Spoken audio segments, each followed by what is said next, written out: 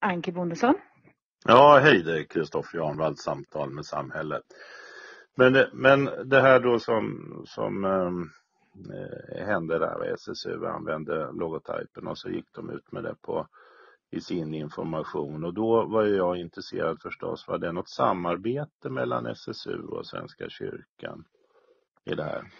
Det var inget samarbete mellan SSU och Svenska kyrkan och när vi fick information om att den här informationssajten fanns så kontaktade Svenska kyrkan SSU för att informera dem om att Svenska kyrkans sköld inte kan finnas på deras informationssajt. Nej. Och att det också vore önskvärt om SSU gjorde det tydligare vem som var avsändare Ja, för ja. sajten eftersom det fanns ju en viss förväxlingsrisk mellan att det var en informationssajt om valet just med att eh, det, Jo, speciellt med adressen till valet. Ja, precis. Eller Nej, till adressen ja. till sidan. Ja, det, det kan man ju lugnt säga om de använder Svenska kyrkans eh, logotyp så att säga. Men, men ehm, det var, var ehm, alltså när jag pratade med SSU då, då fick jag intrycket av, av den killen där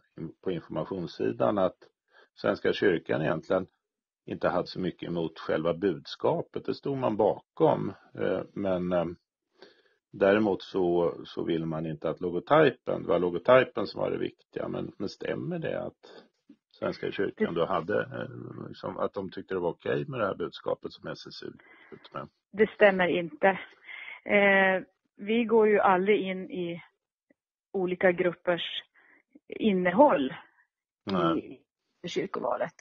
Det måste ju varje eh, nomineringsgrupp själv fylla med. Men, mm. men eh, så det stämmer absolut inte. Nej. Vi har inga, inga synpunkter Men på var, varför sa de Och så? då? val- Jag vet inte varför han Nej. sa det.